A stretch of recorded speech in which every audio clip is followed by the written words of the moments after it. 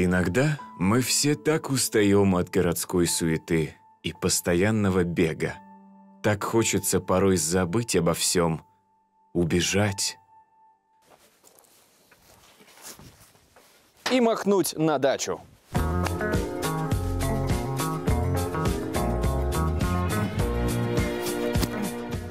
Согласно психологическим исследованиям, человек публикует свои фотографии в соцсети, чтобы создать ложный образ, иллюзию того, что у нас все хорошо, ну и заодно, чтобы подглядывать за другими людьми. Клава, ты растолстела. Лайк! А на даче общение с людьми живое и открытое. Все знают соседей в лицо. Михалыч, Оу! Про Клаву слыхал? Располнела. Мне нравится! Тебе и 28 соседям понравилось. А ты помидоры посадил? А ты знал, что в 18 веке их считали ядовитыми? Да! Из-за их цвета. Ага. А на Руси их называли дьявольскими ягодами. Ого! Утро на Енисее. Мы образовательная программа. Чё?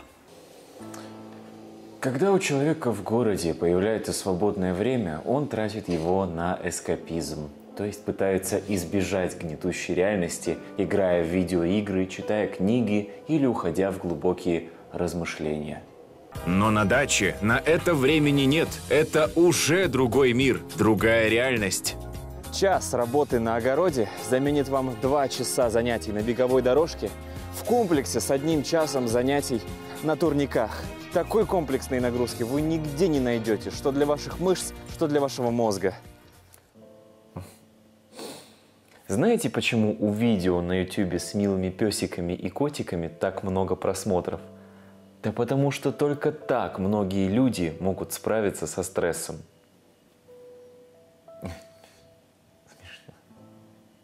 Но зачем смотреть видосы на ютюбе с котиками и песиками, когда можно общаться с ними вживую?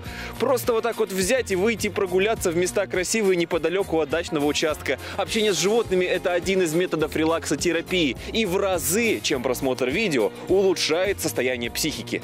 Сидеть. Далее сидеть. Дай лапу. Ты моя зая. А теперь держи печеньку. Держи печеньку. Целоваться будешь? Целоваться нет, не будешь. Целоваться будешь? Если вы не верите, что можно вот так вот запросто променять городскую жизнь на дачную, то рядом с нами живой пример супруги Александр и Алена. Александр, расскажите, как вообще так вышло и почему так решили жить? В городе скучно. В городе заняться нечем, приходишь, включаешь телевизор, соцсети и так далее. А на даче приехал, накол дров, погулял с собакой. Ну и много можно чем заняться по дому. Бесконечно, можно сказать, дела. Ездим только днем на работу, а вечером как отпуск. Прополоть грядки, работы по огороду, но это не сильно много времени занимает. Раз в неделю уделить и все. А так часто приезжают друзья к нам. Сидим тут, жарим шашлыки. Разнообразие – это специи жизни. Развлекайтесь как в городе, так и на даче. Главное, с удовольствием и в хорошей компании. С вами были Роман Пастушок, Константин Фролов и Адель. Аделя. Деля,